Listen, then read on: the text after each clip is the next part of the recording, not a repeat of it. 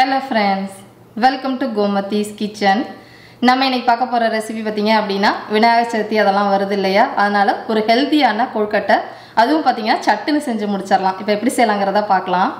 இப்போ அவல் கொழுக்கட்டை செய்கிறதுக்கு நான் எடுத்திருக்கிறதுன்னு பார்த்தீங்க அப்படின்னா ஒரு கப் அளவுக்கு சிகப்பு அவல் எடுத்திருக்கிறேன். இது உங்கள்கிட்ட சிகப்பு அவல் கிடைக்கல அப்படின்னா இதுக்கு பதிலாக நீங்கள் வெள்ளை அவலில் வச்சு செஞ்சாலும் ரொம்பவே நல்லாயிருக்கும் இப்போ இதை வந்து மிக்ஸி ஜாரில் மாற்றிட்டு இதை வந்து குறை குறைன்னு பவுடர் ஆக்கிக்கணும். இப்போ பார்த்தீங்கன்னா இந்த அளவுக்கு கொஞ்சம் குறை குறைன்னு அரைச்சி எடுத்துகிட்டு வந்துட்டேன். நம்ம இன்னொன்று வந்து நம்ம அரைக்கணும். அதுக்கு பார்த்தீங்க அப்படின்னா இன்னொரு மிக்ஸி ஜார் எடுத்துக்கலாம். இதில் பார்த்தீங்கன்னா ஒரு கால் கப் அளவுக்கு ஊற வச்ச உருட்டு உளுத்தம் பருப்பு. இந்த உளுத்தம் பருப்பை வந்து ஊற வச்சது ஒரு அரை மணி நேரமாக ஊற வச்சுருக்கிறேன். அதை வந்து இதில் சேர்த்துக்கலாம்.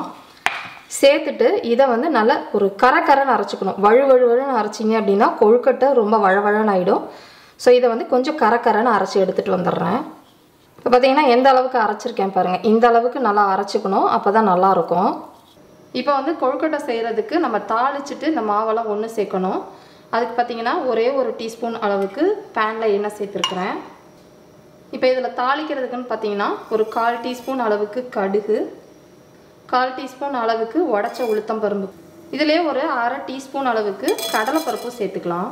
பெருங்காய பொடி ஒரு ஒன் எயித் டீஸ்பூன் அளவுக்கு சேர்த்துட்டு இப்போ கடலைப்பருப்பும் ஓரளவு பொன்னிறமாக செவந்துருச்சு. இப்போ வந்து ஒரு பாதி வெங்காயம் கட் பண்ணதுன்னு பார்த்தீங்கன்னா ஒரு அரை கப் அளவுக்கு இருக்கும். அதை இதில் சேர்த்துக்கோங்க. இந்த வெங்காயம் வதக்கிட்டு இருக்கப்பே இந்த கொழுக்கட்டைக்கு தேவையான அளவு உப்பு அரை டீஸ்பூன் டேபிள் சால்ட்டு சேர்த்துருக்குறேன். இப்போ இந்த அளவுக்கு கண்ணாடி பதம் அளவுக்கு வந்ததுக்கு அப்புறமா காரத்துக்கு ஏற்ற மாதிரி மூணு பச்சை மிளகாய் பொடியாக நறுக்கியிருக்கிறேன் நல்லா ஒரு கால் கப் அளவுக்கு துருவின தேங்காய் கொஞ்சம் கருவேப்பிலை இலைகள் பொடியாக நறுக்கின கொத்தமல்லி இலைகள் எல்லாத்தையுமே இதில் சேர்த்துட்டு ஒரு ஒரு ரெண்டு செகண்ட் மட்டும் இந்த மாதிரி வதக்கி விட்டுருங்க. ரொம்ப நேரம் வதக்க வேண்டாம். இப்போ இந்த அளவுக்கு வதங்கினதுக்கு அப்புறமா இப்போ வந்து நம்ம இதில் தண்ணி சேர்த்துக்கலாம். ஒரு ரெண்டே கால் கப் அளவுக்கு தண்ணி ஊற்றிக்கலாம்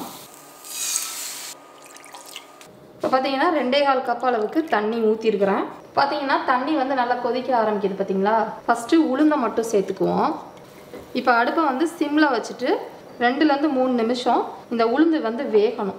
இப்போ பார்த்தீங்கன்னா ஒரு ரெண்டு நிமிஷமாக நல்லா இந்த மாதிரி மதுவான தீயில் கொதிச்சதுக்கு அப்புறமா அவளை பொடிச்சு வச்சோம் இல்லையா? அதை வந்து கொஞ்சம் கொஞ்சமாக சேர்த்து கிளறிக்கோங்க.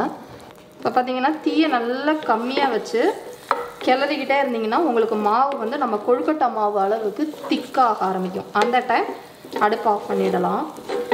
இப்போ பார்த்தீங்கன்னா நல்லா திக்காயிடுச்சு பார்த்தீங்களா மாவு? இது இன்னும் ஆற ஆற உங்களுக்கு நல்லா திக்காயிடும். ஸோ கொஞ்ச நேரம் அது ஆறட்டும். அதுக்கப்புறமா நம்ம கொழுக்கட்டை மாதிரி பிடிச்சிக்கலாம். இப்போ அடுப்பில் நம்ம கொழுக்கட்டை செஞ்சிட்டு இருக்கப்பே இருப்பு சட்டியில் தண்ணி வச்சு கொஞ்சம் கொதிக்க விடுங்க. அப்படி இல்லைன்னா நம்ம ஸ்டீமர் வச்சுருந்தீங்க அப்படின்னா ஸ்டீமர்லேயும் கொஞ்சம் நேரம் தண்ணி வந்து ஆவி வர ஆரம்பிக்கிறப்ப நம்ம கொழுக்கட்டையை வச்சுக்கலாம். இப்போ பார்த்தீங்கன்னா நான் எல்லா கொழுக்கட்டையுமே இந்த மாதிரி பிடிச்சி வச்சுட்டேன். இந்த மாதிரி ஸ்டீமர்லேயும் ஆவி வர ஆரம்பிச்சிருச்சு. இது வந்து கிட்டத்தட்ட ஒரு அஞ்சு நிமிஷம் மிதமான தீயில வேக வச்சுட்டு எப்படி இருக்குங்கிறத காட்டுறேன். இப்போ பார்த்தீங்கன்னா அஞ்சு நிமிஷமாக நல்லா வந்து வெந்துருச்சு கொழுக்கட்டை. இதை ஓப்பன் பண்ணி பார்த்துடலாம் எப்படி இருக்குன்னு. நல்லா வாழை இலை வாசத்தோட கம கமன்னு நம்மளோட கொழுக்கட்டை வந்து ரெடி ஆயிடுச்சு. இதே மாதிரி அளவுகளோட இந்த கொழுக்கட்டை செஞ்சு பார்த்துட்டு எப்படி இருக்குங்கிறத கமெண்ட் பண்ணுங்க. வீடியோ பிடிச்சிருந்தாலும் கமெண்ட் பண்ணுங்க. லைக் பண்ணுங்க. மறக்காம நம்ம கோமதீஸ் கிச்சன் சேனலையும் சப்ஸ்கிரைப் பண்ணி வச்சுக்கோங்க. தேங்க்ஸ் ஃபார் வாட்சிங்